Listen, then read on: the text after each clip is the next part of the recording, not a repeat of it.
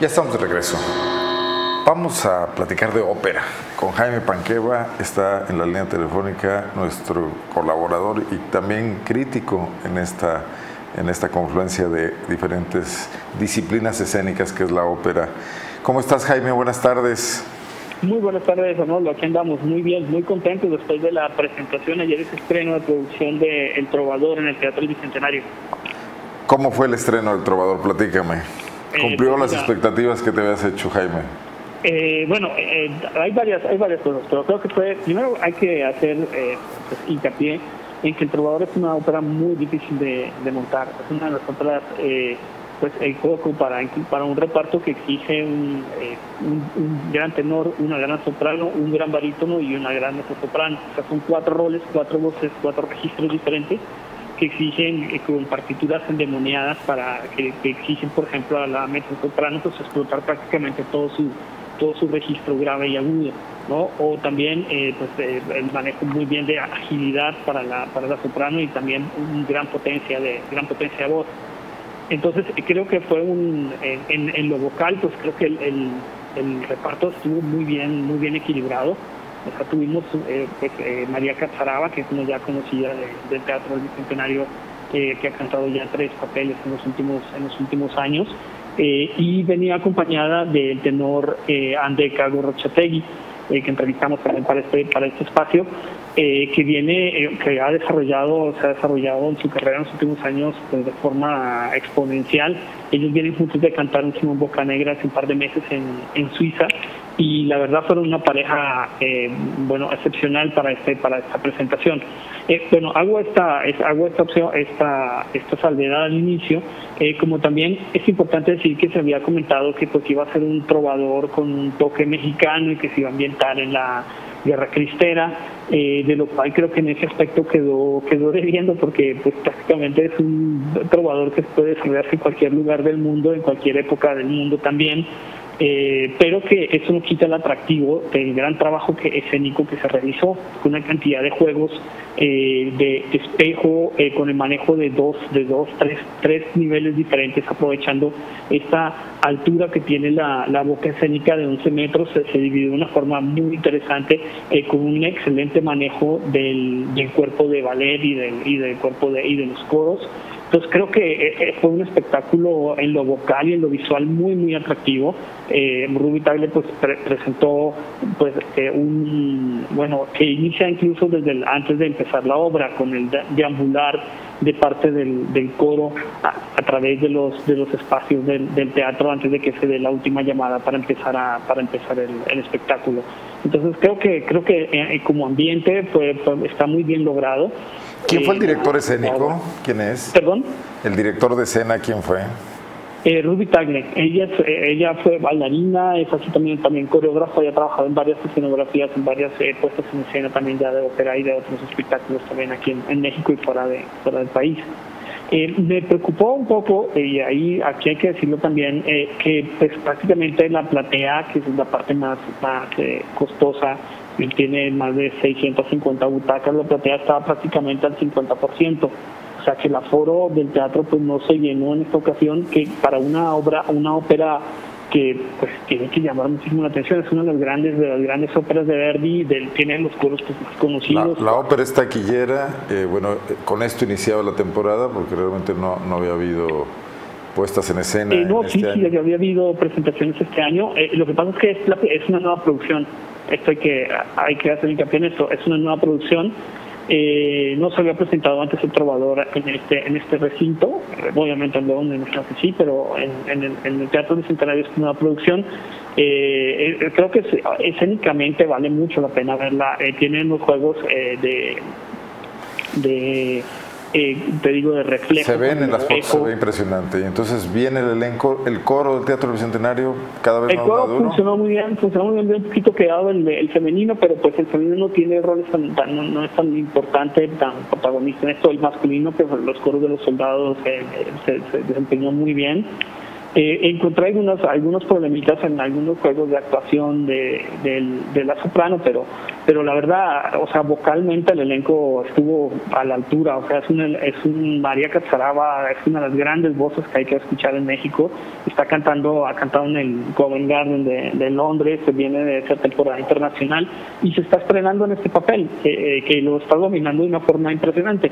Andeka Gorrachategui también se estrena en este papel en El Trovador, es como su, su laboratorio eh, creo que, eh, bueno, puso mucho de sí, pero es un poco duro para la, actuación, un poco tieso. Eh, pero vocalmente creo que estuvo a la altura, un poquito de dificultades ya en, en la en la cabaleta después del, de la Hidden Me o de esta cabaleta famosa de Nicola Pira eh, pero es un gran, es un, de verdad es un tenor que ha recibido muchos elogios en, recientemente también en Suiza. ¿Quiénes completan el elenco? Un tenor a seguir, ¿no? mundial. Jaime, ¿quiénes completan el elenco, este cuarteto? Disculpa. ¿Quiénes completan el elenco? La Mezzo y... Ah, eh, José Lagunes, que tiene un, hizo un gran, un gran conde de Luna. Lo, lo, lo tú, pudo echarte el público en el bolsillo desde el inicio, desde la primera, desde la primera mitad con este el Valente del Sorizo, que es un área de las grandes áreas de barítono, lo vi un poquito temeroso ahí, porque dudó un poco pero pero no la, las condiciones eh, y en los bueno y luego una primera función un estreno siempre afloran cosas que se van corrigiendo. Claro claro o sea, pero eh, se ve el profesionalismo y el trabajo también que escénico que, que se ha realizado porque por ejemplo hubo un una decir un error o una dificultad al inicio en la primera en la primera escena eh, cuando se presenta el duelo eh, que son los eh, que había que conectar un cable para que la para que la bruja saliera eh, volando pero no bueno no lo, no lo no lo lograron hacer pero no se notó. Yo creo que el público no notó ese cambio en, el, en, en lo que en lo que estaba planeado en lo que estaba ensayado porque pues también se ha trabajado en, esos planes B de si no si falla esto hacemos lo siguiente y lo, lo siguiente funciona con una tramoya ya muy experta la del teatro no ¿Perdón? Una tramoya ya muy experta. Sí, no, no, y la, fue, la, fue una de las, de las actrices, eh, que, actrices y también del ballet que, que personificaban a esta, a esta bruja, eh, que yo creo que espantó muy bien. El cierre fue extraordinario de este, de este juego, este juego visual, eh, con esta gran tela, esta gran cola de la bruja que sale volando al final, ¿no? Eh, es un, te digo, es una la puesta en escena muy inteligente, muy práctica. Me quedo viendo lo mexicano, o sea, porque no, la verdad, Eso no te gustó. un sombrero de charro y un poncho para decir que es mexicano, creo que se va a ver ahí, ¿no? Sí, como que sale sobrando de repente estos puestos al día, ¿no? Sí, sí, sí. también de aplaudir la actuación de Belén Rodríguez, es una, una voz muy poderosa, un registro muy amplio, y te digo que lo, explotó al máximo y actuó como justamente una, una bruja, una mujer, una gitana desquiciada, no loca, arrastrando, eh, llevando ese hijo, ese hijo muerto de un lado para otro. Entonces eh, creo que fue, eh, tuvo un gran efecto y todo está, y todo obviamente tampoco sería posible sin esta gran, este gran director musical que es José Areán. Eh, preguntaba en un artículo inicialmente que qué había pasado con el experimento de esta, esta orquesta de la ópera del de, Bicentenario.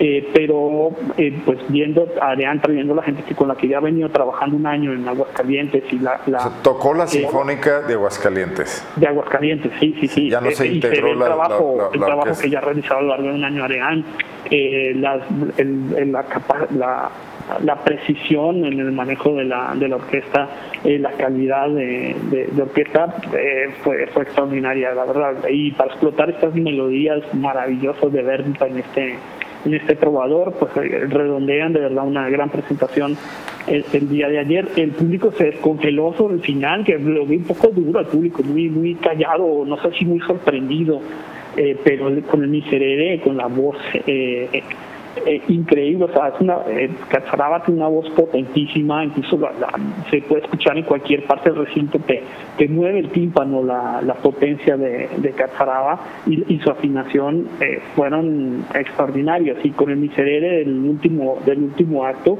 pues descongeló un poco este público que estaba algo, algo, algo perplejo desde el inicio. Oye, Jaime, ¿se continúa entonces la tradición operística con buen nivel, no obstante el cambio de administración? Mira, yo, yo tenía mis dudas, de verdad, tenía mis dudas, eh, contesté por la salida de, como, pues como muchos, por la salida de, Alonso Escalante, pero por fortuna eh, veo pues el trabajo, veo la seriedad que se ha hecho y de verdad es un trovador que hay que verlo, hay que verlo. Me sorprende que no haya llenado la platea, no sé qué pueda pasar ahí, si es cuestión de publicidad, promoción, eh, valdría la pena de verdad, de la pena, ya lo he propuesto también varias veces, eh, eh, que si hay boletos eh, sobrantes, por ejemplo, de ese tipo de localidades que se vendan a precio de quema, faltando 20 minutos, media hora para, para empezar el espectáculo. Claro. ¿no? Por, Para que se vea el teatro, ese teatro lleno. Los, los, los lugares más económicos, obviamente, la, el, tercer palco estaba abarrotado. ¿No han subido precios? ¿Eso no ha impactado? No, ¿Perdón? No han subido precios, digo. Eh, no, no, no, no, no han subido precios, pero, pero no, no, sé si sea por cuestión de precio, cuestión de difusión, no lo sé, pero, pero creo que, creo que así como, como ya hay público, ya se ve que hay un público formado eh, que está asistiendo, que llena, o sea, los primeros, los niveles más altos, los niveles más altos están siempre del bicentenario llenos, pero algo pasa ahí en ese, en algo pasó, no sé si sea en esta función, eh, cómo se desarrollan las siguientes funciones, pero la verdad es un espectáculo eh, de coreografía, canto, eh, muy bien logrado, muy bien logrado. Te digo, es una obra muy difícil, es una obra muy difícil por todas las exigencias que tiene vocales, porque es un libreto muy enrevesado, que tiene muchas, muchas vueltas, pero que se desarrolló de una forma muy ágil eh, y pues yo diría impecable a lo largo de la, de, la presentación que vimos el domingo. Jaime, pues como siempre muy agradecido, pues nos dejas con muchas ganas de verlo, vamos a ver si hay boletos todavía y ojalá las siguientes funciones ya.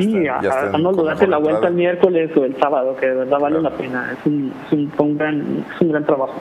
Muy bien, muy bien.